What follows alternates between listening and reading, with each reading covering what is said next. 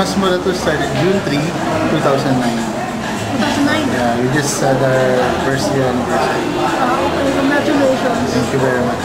Ilan ang capacity mo? Uh, the whole the whole restaurant can accommodate up to 220 persons. Ano to? Actually, we are also offering uh, rooftop venue. So uh, that's aside from the restaurant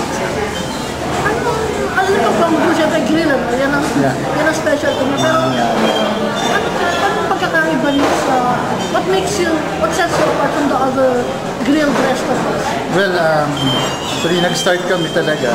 Ang yung ibang, before we start, yung ibang mga grill restaurant, mga open air. eh. So, Congo Grill is the one who start with the air-conditioned uh, grill restaurant. So, aside from that, we we also specialize sa mga um, sizzling items. Uh, especially yung pork sisig namin.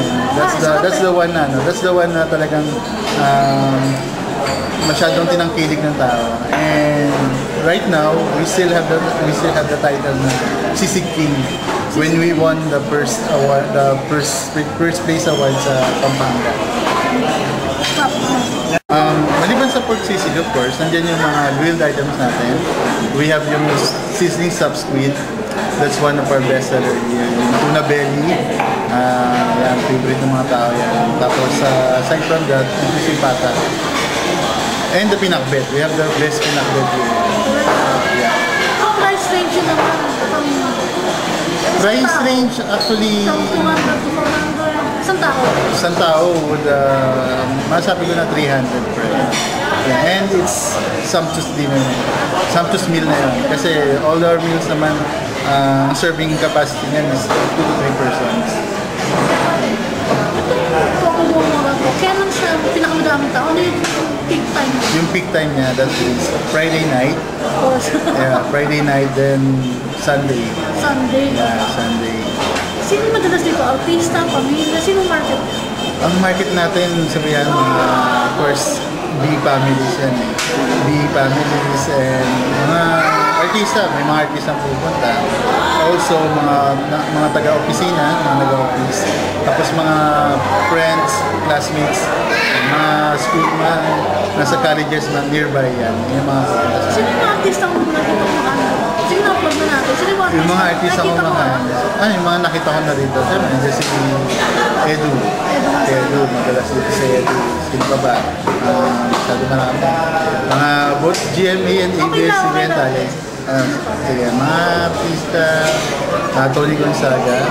And Tony Gonzaga sila, hindi ako masyado mga sa artista. Okay lang. Yung mga nalala mo lang. Kasi Aljur, Aljur Jimenez, um, Arnold W is always here. Yeah. Mga reporters like, yung mga reporters, GP Soriano, yeah, madalas sa amin. Ba mga artists? Um, I can, di ko naman iba. Gerald, ano yung okay? Ano ang may promo ba kayong gusto kwento ngayon? Ah, promo. Offer niyo, offer niyo. Uh, for, for the promo, right now, we're offering yung aming wild appetites. Wild appetites. Yeah. It, this is a personal personalized meal. Uh, it's good for 185. Pesos? Yeah, People. 185 person. Uh, pesos per person. Okay. Yeah, so it's composed of three bayans. Tapos with, ano, with drinks na yun. The one I served to you, that's that's the wild appetite. So, Ayun, pwede na. sobrang ano siya, sobrang nakakabusog. Actually, hindi ko matapos. Ang barbecue lang, tumigil na ako. Yeah. See, nakita mo talagang ano. So that's how that's how generous we are when it comes to food. Ano kaya na na to? Uh, this will last for three months. So So, mga September. August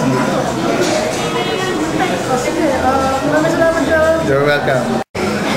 Reason why we offer the wild appetites is for those people na pupunta ng restaurant, mag-isa lang sila, or they're still waiting for their companions. So, minsan, order sila ng pagkain. Pag yung mga regular meal namin, it's good for sharing eh. So, masyadong sobra sa kanila yon. So, that's the reason why we come up with the wild appetites. So, it's a sum- sumptuous meal na good for one person lang. So, it's a gr- great deal talaga. Good deal na siya for, for, a, for a regular salaried person. Thank you.